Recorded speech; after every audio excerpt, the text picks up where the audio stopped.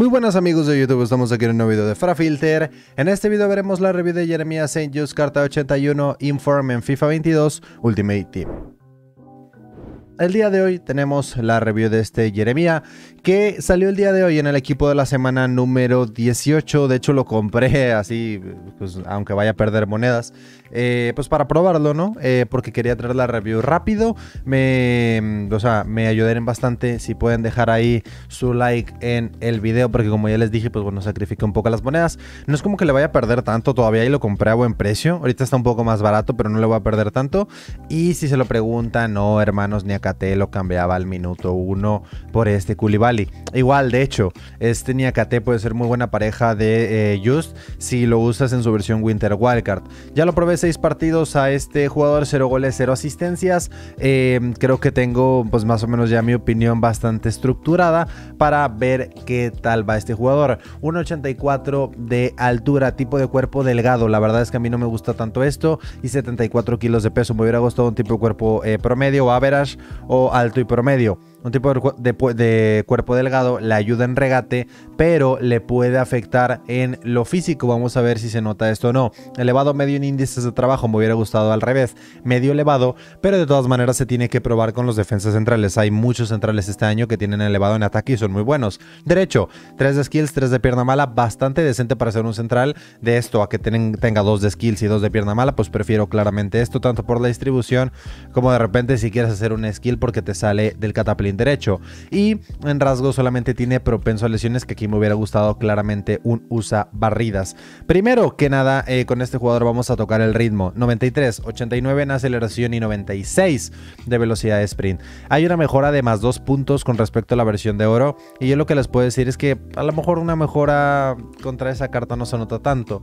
Porque mm, ya era muy rápido, ya era muy rápido. De hecho, yo en su momento le traje review a esa carta de oro, que pues no me parecía mala, pero sí me parecía un poco sobrevalorada. O sea, tenía muchos detallitos como el físico, eh, tenía, no me acuerdo si 8 puntos menos, o sea, tenía stats muy bajas en, en, por ejemplo, lo físico, como ya les dije, tenía 74, 71 de fuerza, o sea, tenía 8 puntos menos de físico, tenía 5 puntos menos en defensa.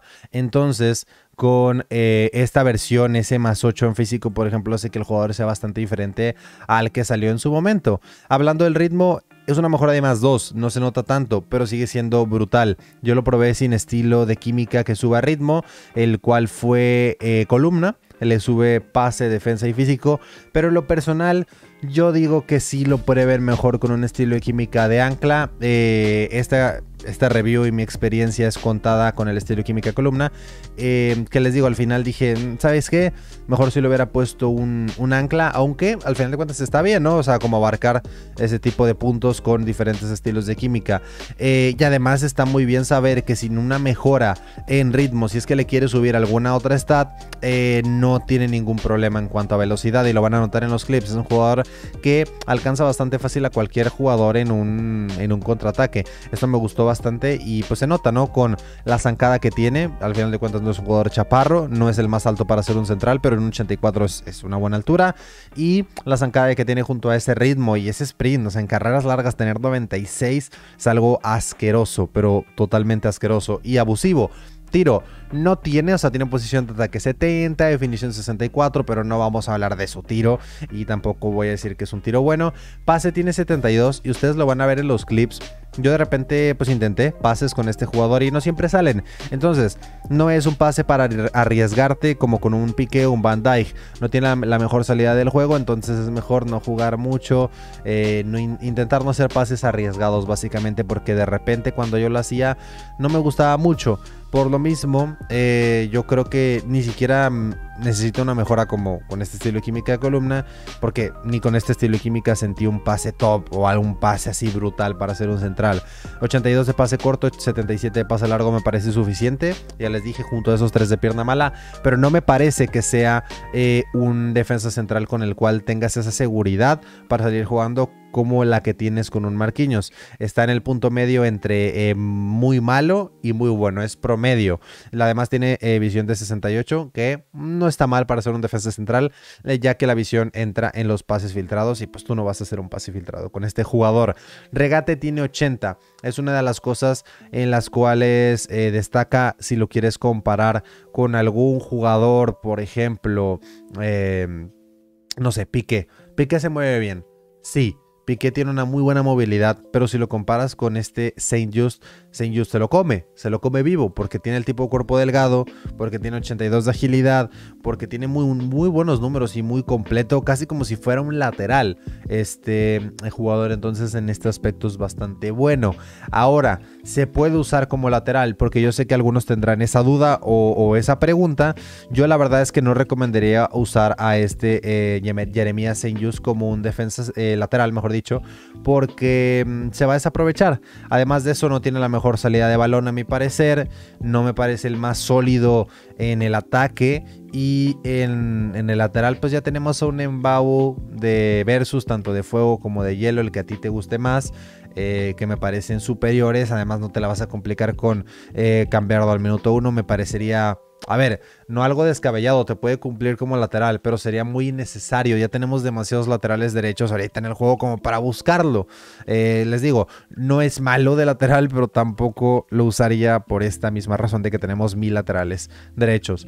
Eh, siguiendo el tema del regate, me hubiera gustado que tuviera un poquito más de compostura y reacciones. Creo que este es un punto que hace este, que este Saint si lo quieres comparar con cartas eh, actualmente, que por ejemplo, un un Koulibaly que eso, de hecho, ya tiene meses que salió, tiene más reacciones, tiene más compostura, mucha más compostura. Si te quieres ir con otro central como por ejemplo Gerard Piqué, que es un jugador que sigue destacando muchísimo, checa las stats en reacciones y en compostura, checa las eh, stats en reacciones y compostura de un Marquinhos. De un Umtiti, según yo, estaba así, estaba, bajito y por eso Umtiti, por ejemplo, ahorita ya no se siente tan bueno. De hecho, yo hasta casi que sufro cuando lo uso. Al principio cuando salió me parecía una buena carta, pero ahorita la verdad a mí sí me hace medio, medio Y les digo, eh, esta misma compostura de Seiyus y estas reacciones medio bajas hacen, a mi parecer, que se note un poquito genérico en la defensa. No estoy diciendo que sea malo, ustedes vieron muchos autoblogs en los clips, pero esto no va, no le va a ayudar mucho a que de repente eh, quieras meter el pie y no llegue o se sienta eh, como que con medio delay, como que se tarda en reaccionar o que a veces tiene el balón enfrente y no mete el pie. Yo creo que la mayoría de las veces lo hace bien, sí, pero las jugadas eh, clave donde pues, te fallan al final de cuentas las cartas o los defensas centrales son las que pues lo hacen un buen defensa central o no, porque la mayoría de defensas centrales te van a cumplir las veces eh, que sean necesarias, pero uh, de repente en un triangulazo, sí, Senyus corre mucho, pero imagínate que está en un duelo, en, un triangulazo, un, duelo de, fuerza, o en ese mismo triangulazo el rival engancha y dispara y Senyus no hace el autoblock por esto, pues ahí te va a terminar afectando. Eh, como les digo, solamente agilidad, movilidad, con o sin balón lo hace muy bien lo hace muy muy bien, pero estas reacciones y compostura me hubiera gustado que tuvieran un poco más. La defensa sí notó una mejora considerable, esto sí se los tengo que mencionar, porque en su versión de oro, pues sí, o sea, si en su momento era medio genérico, ahorita es inutilizable esa carta de oro, y ahorita 85 en intercepciones, 84 en percepción defensiva y 83 de entradas, no, lo, no la veo nada mal. Eso sí, me encantaría, ojalá, no sé, no creo que vaya a pasar, eh, o quién sabe, ¿no? A lo mejor y hace la temporada de su vida eh, Jeremía, pero que saque otro if. Con otro if quedarían unas stats defensivas muy muy buenas. Y por ejemplo yo creo que sí podría llegar al nivel de un Niakate. Que Niakate si tú ves las stats eh, tiene 85 en, defensa pero son 3 puntos, o bueno está de oro no, pero si lo comparas con su versión Winter Wildcard, les digo son, son 3 puntos, 2 puntos, por ejemplo en intercepciones tiene un punto más, pero luego en percepción defensiva tiene 2 puntos más, en entradas tiene 2 puntos más. Tomamos en cuenta también que Niakate tiene un diferente tipo de cuerpo, la altura de 1 1.90 que hace que tenga más presencia física. Otra cosa también que noto con este Saint no lo siento el jugador más agresivo en defensa, esas, eh, esas 78 de agresividad.